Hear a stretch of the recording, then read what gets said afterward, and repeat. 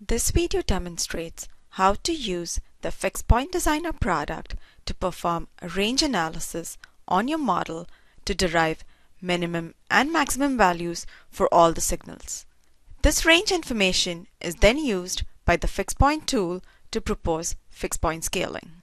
The Fixed Point tool can collect range data either by performing simulation and logging range information or by derived range analysis. This video is focused on the derived range analysis, where the fixed point tool statically analyzes the range of individual computations in the model.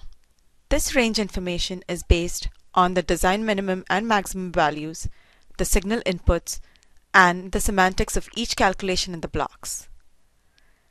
Derived ranges are advantageous over simulation logging when comprehensive simulation is too expensive or sometimes impractical.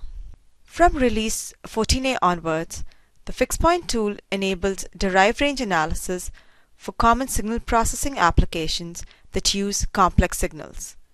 In addition to MATLAB code, now Simulink signals with complex data types are also supported. Here is an example of a Clarke transformation model. Clarke transformation is a mathematical transformation employed to simplify the analysis of three-phase circuits. Conceptually, it rotates the reference frame of three-phase systems in an effort to simplify the analysis of these circuits. One very useful application is the generation of the reference signal used for space vector modulation.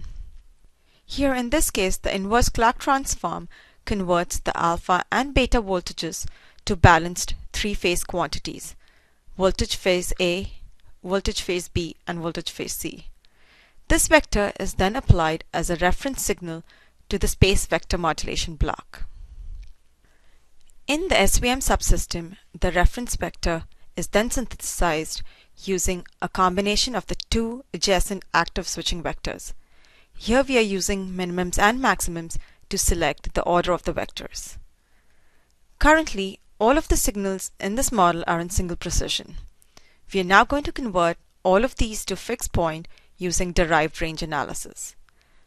Note that the derived range analysis works at a subsystem level based on local design specifications. This is very useful when working with hierarchical models in large-scale designs. To begin with, we need to specify design minimum and maximum values of the alpha and beta voltages. Note that the design minimum and maximum values are also displayed on the signal lines. The analysis engine uses these design values specified and other constants like the DC voltage constant we have here to derive minimums and maximums for all other components in the subsystem including the vector signals. The first step in this process is to launch the fixed point tool from the analysis menu. To start derived range analysis, we select the space vector modulation subsystem and click the Derive Min-Max Values for Selected Model button. After the analysis finishes, the Fixed Point tool displays the collected range information for all the components in the subsystem based on the voltage design values that were specified. Range information obtained by derived range analysis can be used by the Fixed Point tool to propose fixed point types for blocks in the model. You can configure the tool to propose either fraction lengths or word lengths. Fixed point scaling will work exactly the same as when range information is obtained from simulation logging and you could use either or both of derived min-max or simulation min-max for your proposals. You can change the default data type of all unspecified signals from floating point to fixed point and then click the Propose button in the Fixed Point tool menu. The Fixed Point tool displays the proposals for all components in the model. By default, the Fixed Point tool applies all of the proposed data types.